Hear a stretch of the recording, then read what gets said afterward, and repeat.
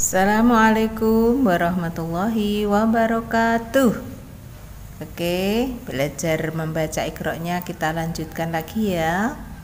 Tapi sebelum kita lanjut Jangan lupa like, subscribe, serta tekan tombol loncengnya. Terima kasih. Yuk kita belajar kembali. Bismillahirrahmanirrahim Hari ini kita sampai pada huruf hijaiyah A. Kita tekankan di tenggorokan kita suaranya. A. Oke.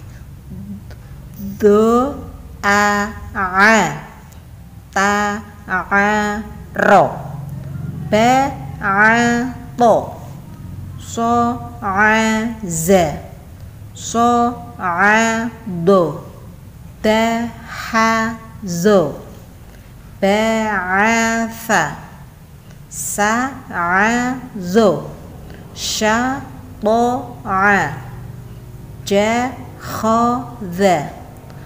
دعش. زعد عجز. تطد. طعط. أبتث. Ja ha kho da za ro za sa she so do to zo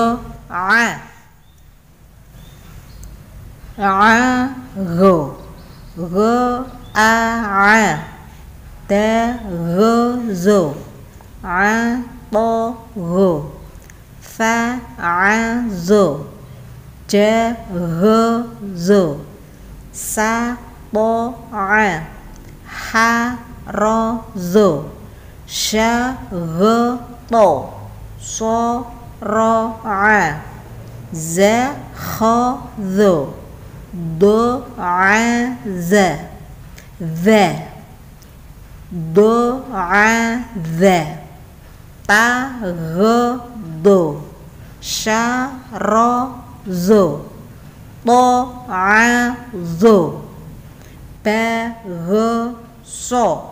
A ba ta tha ja ha kho. Ta za ro za sa she so do to zo a go kita lanjutkan sampai fa. Fa. Fa a go Fa al do, go fa so, fa ta ha, go je ze, ha fa do, to an te, so fa fa'ado ghafaso fataha do, sa to'ate do, shakhodo fa khofada Chargando. Fazer. Fardo. The faro. Apetaza. Jahajo. De verose. Sache. Sodo. To. Zo. A. Gơ. Phạt. Kita lanjutkan lagi teman-teman. Yuk fa go go ini nyekluk istilahnya. Go itu berada di tengah tenggorokan kita. Go go go lah go go ba do go to fa. Fa ro go fa go zo.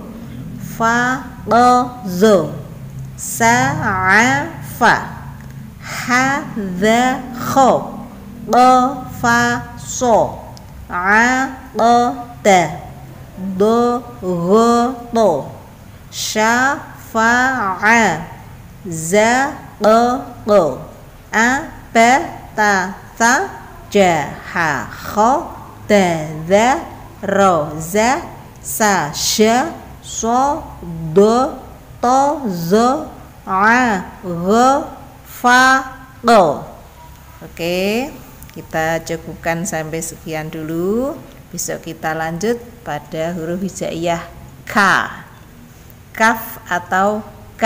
Kalau sudah diberi harokat K, kalau belum ada harokatnya dibaca kaf. Untuk itu, saya ucapkan terima kasih. Selamat belajar membaca huruf hijaiyah dengan memakai metode ikro. Kita sudah baca ikro 1 sampai halaman hari ini sampai halaman 24. Fado. Oke. Assalamualaikum warahmatullahi wabarakatuh.